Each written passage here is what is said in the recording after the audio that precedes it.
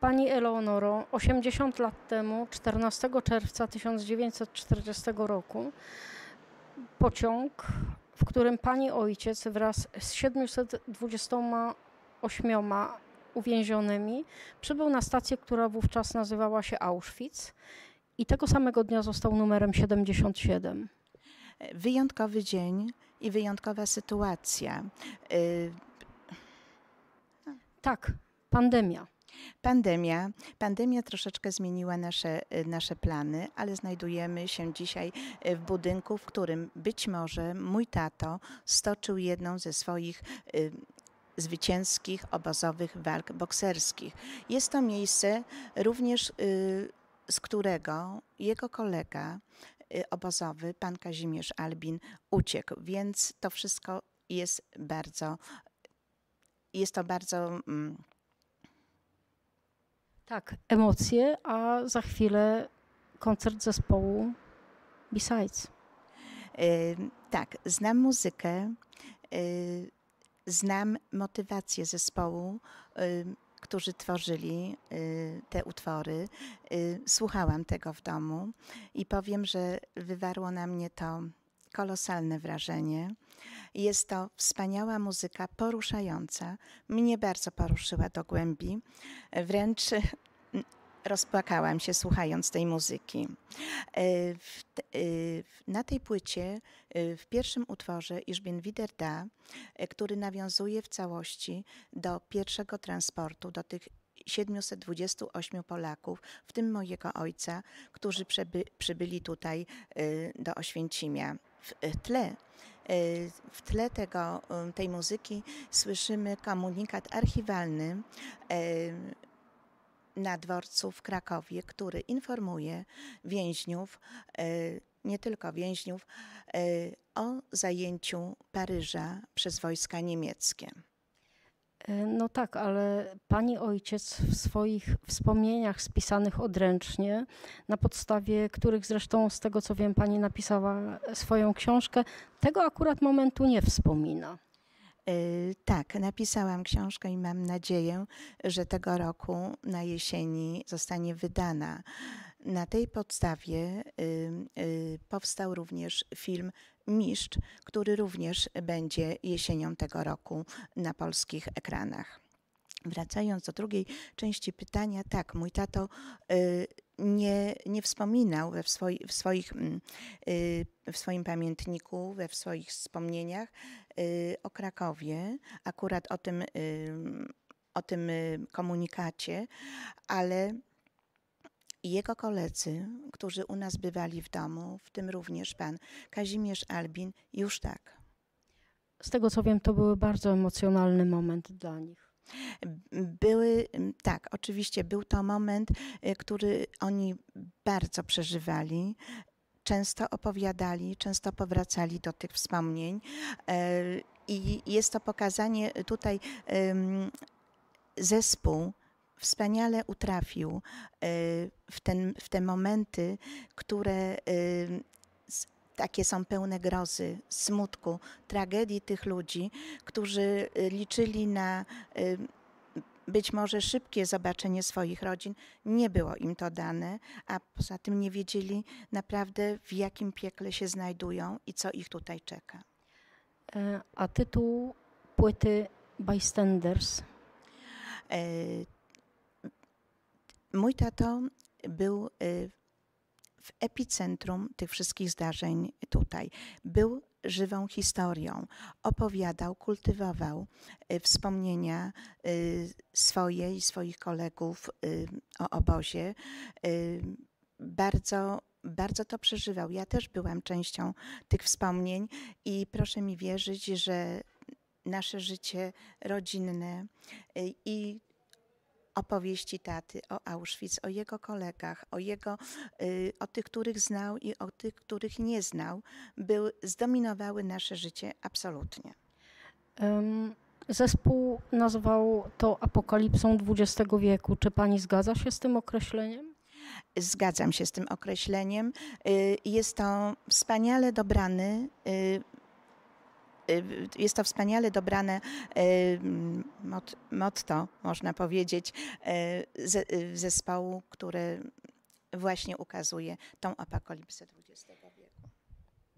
E, Ale płyta też nawiązuje do mieszkańców okolicznych ziem, którzy nie tylko i wyłącznie byli biernymi świadkami, widzami e, tej apokalipsy. Byli wśród nich też ci, którzy z narażeniem życia pomagali uwięzionym za drutami. Tak, oczywiście i mój tato również z ich ym, strony doznał wielu y, dużej pomocy. Ym, w naszym archiwum domowym znajduje się gryb spisany przez tatę z obozu, który właśnie dzięki pomocy ym, cywilów przedostał się przez druty. Wcześniej nie to było wręcz niemożliwe. Y, Bez tej pomocy tych okolicznych ludzi, którzy pomagali jak tylko mogli więźniom. Przepraszam, ale chyba czas zacząć koncert. Dobrze, dziękuję.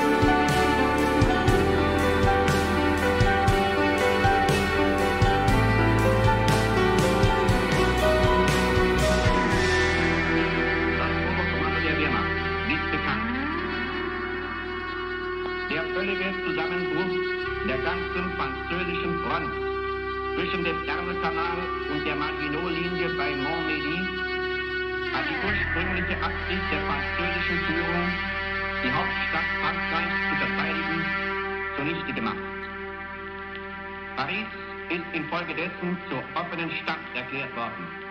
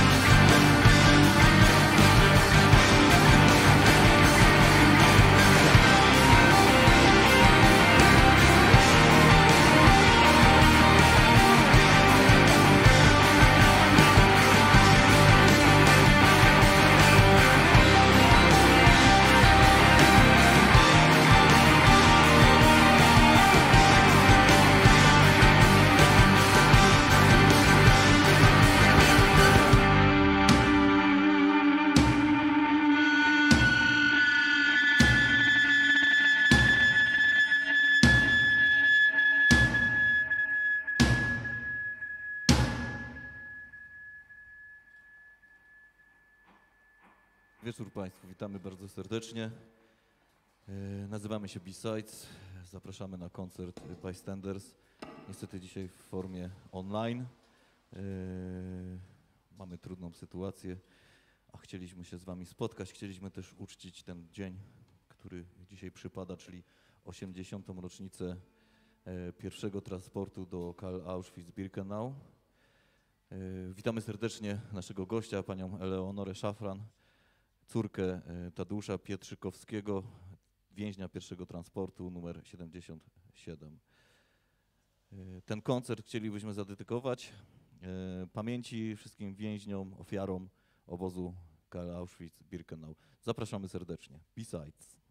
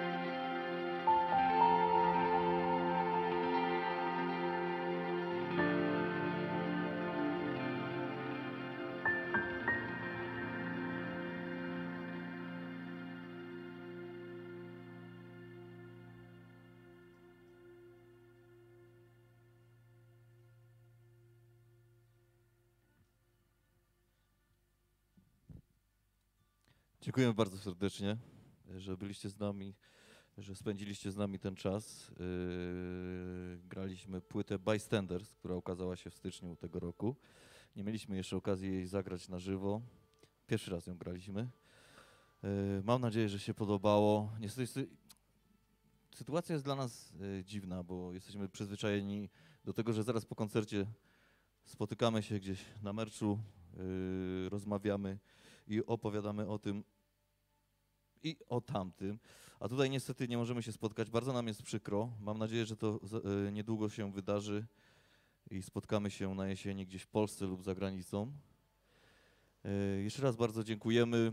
E, Szczególny koncert. On, on nie, byłby, nie, mógł się, nie mógłby się udać, gdyby nie pomoc Fundacji Pobliskie Miejsca Pamięci Auschwitz-Birkenau. Bardzo dziękujemy. Pomoc Renaty Korzyk, pomoc wszystkich osób zaangażowanych w produkcję, w, w dźwięki, światło. Bardzo, bardzo dziękujemy kwartetowi, dziewczynom z kwartetu, które nagrywały z nami płytę i które dzisiaj z nami tutaj grają. Mam nadzieję, że będziemy mieli możliwość niejednokrotnie jeszcze razem zagrać, bo nam się to bardzo podoba. E, tak, bardzo Wam dziękujemy. Dwa ostatnie numery z płyty Bystanders i do zobaczenia. Dzięki wielkie, cześć.